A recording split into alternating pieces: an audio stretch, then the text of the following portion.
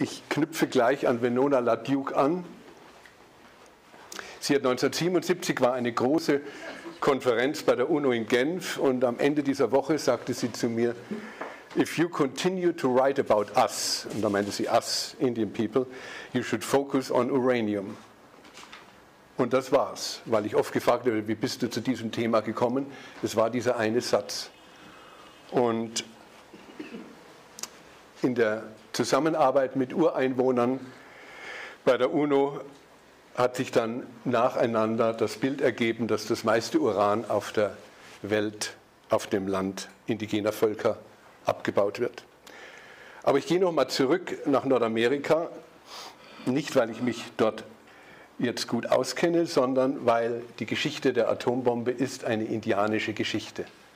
Das zeichnet sich auch gewissermaßen äh, darin aus, dass ähm, als die erste erfolgreiche Kettenreaktion in Chicago von Enrico Fermi durchgeführt wurde, war ausgemacht worden, wenn es klappt, soll die Botschaft nach Harvard lauten, also der, der italienische Steuermann ist in der neuen Welt gelandet.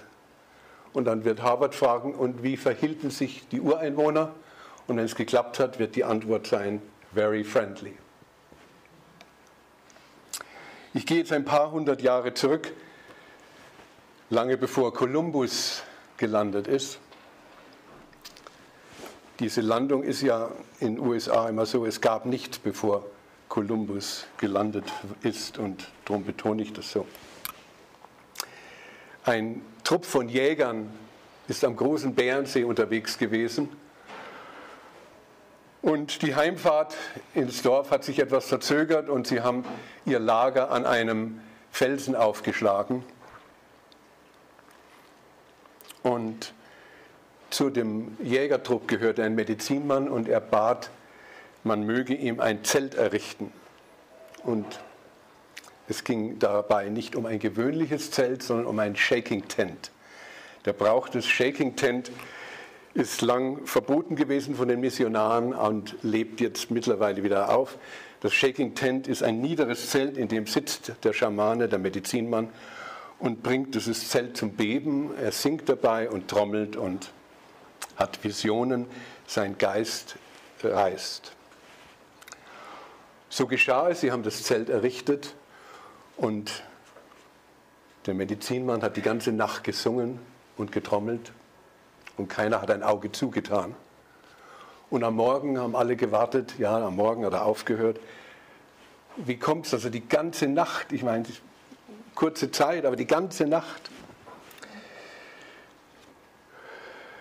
Alle haben gewartet, was wir das sagen. Ja, also dort, wo sie lagern, hat er gesagt, wird, wurde die Erde aufgerissen. Und, und es wurde was rausgeholt, das er nicht benennen konnte. Und dann wusste er, er, er wird nur Antworten kriegen, wenn er weiter singt.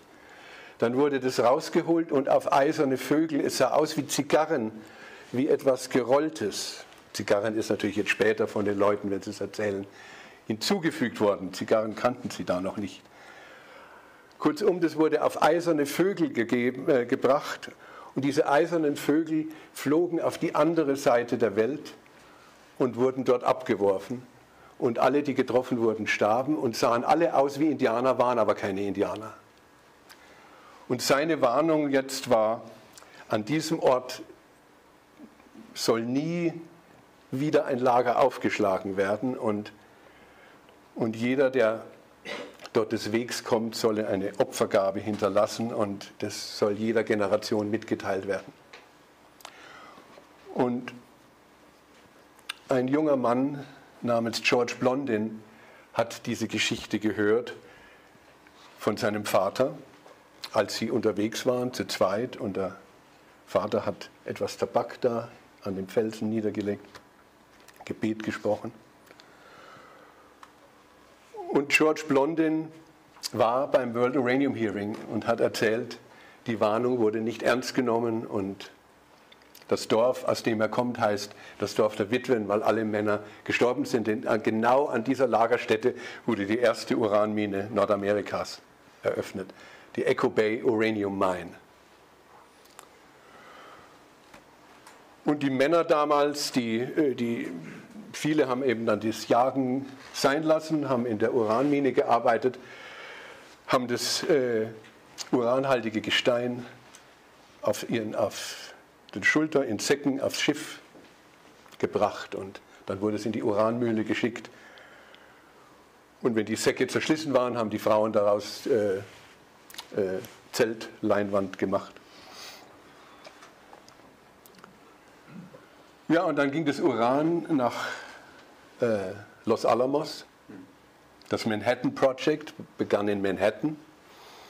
Und dann suchte man einen verborgenen Platz, das war Los Alamos, weil Robert Oppenheimer, Los Alamos ist äh, ne, äh, ungefähr, ja, ungefähr hier. Und Robert Oppenheimer, der das Manhattan-Projekt geleitet hat, war da äh, als Kind zur Kur gewesen und dort wurde dann die erste Bombe gebaut. Und es kam auch noch Uran aus Belgisch-Kongo und aus Portugal. Und interessant ist immer, je nachdem, welche Publikation man aufschlägt, kam alles aus Portugal oder alles aus Belgisch-Kongo oder alles aus Kanada. Aber es waren diese drei Plätze. Und hauptsächlich Kanada, weil es natürlich leichter zu transportieren wurde.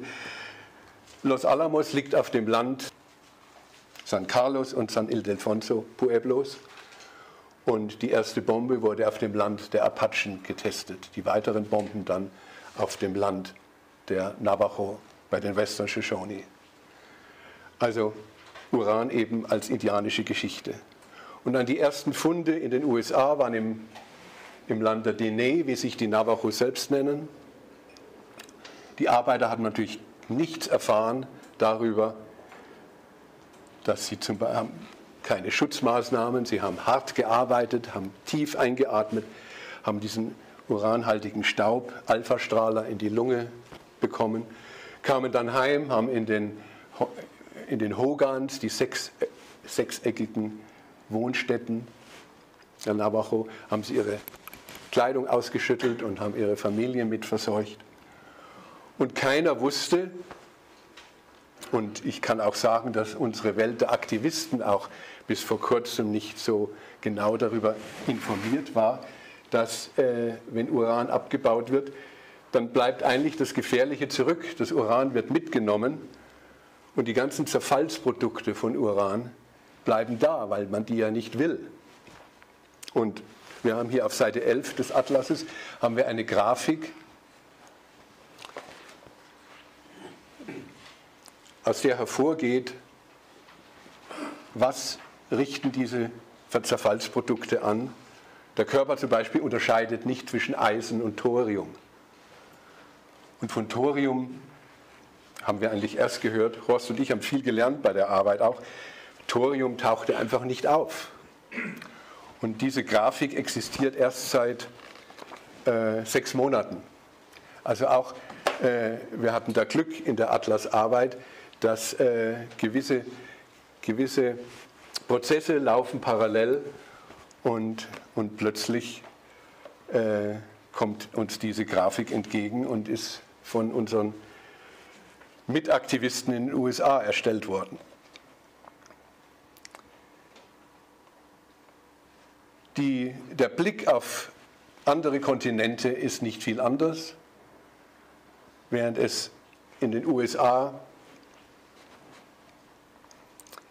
jetzt Verträge mit den Indianern gibt, mit den Ureinwohnern, ist es in Australien so, dass bis 1960 ganz Australien äh, sozusagen in weißer Hand war und erst da in den 60er Jahren die Aboriginal begonnen haben, jetzt äh, Landforderungen zu stellen. Das heißt, jede Uranmine in Australien ist auf Aboriginal Land und und manche liegt eben dann auf dem zurückgewonnenen Land oder noch außerhalb. Und der letzte Erfolg aus der Aboriginal-Welt ist äh, ein Mann, der Jeffrey Lee, der erreicht hat dass sein Land, das reich an Uran ist, hat die UNESCO dem Kakadu National Park angegliedert, ein Weltnaturerbe.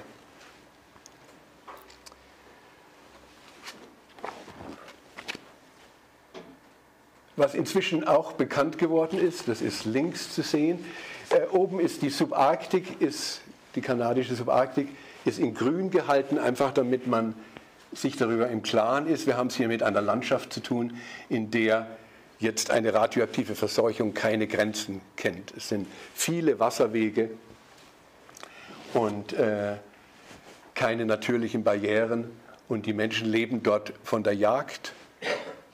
Die Jagd ist immer noch für viele eine Subsistenzwirtschaft äh, und äh, dementsprechend äh, gefährlich ist es. Äh, und ich habe schon erwähnt, äh, viele, viele drei Dörfer heißen Dörfer der Witwen. Und diese Witwen sind auch äh, in einer kleinen Delegation nach Hiroshima und Nagasaki, um sich zu entschuldigen, dass ihre Männer beteiligt waren am Bau der Bomben. Eine indianische Weise des, des Heilens. Es geht hier nicht darum, wer schuldig ist, sondern es geht darum, äh, äh, die Ursachen zu verknüpfen, um äh, zu einer neuen Ebene zu gelangen, zu einem neuen Anfang. Und hier unten sehen wir, das ist auch erst jetzt in den letzten Jahren bekannt geworden, während des Kalten Krieges war ein wahnsinniger Uranboom und man schätzt, dass heute ungefähr 15.000 äh, verlassene Minen im Westen sind.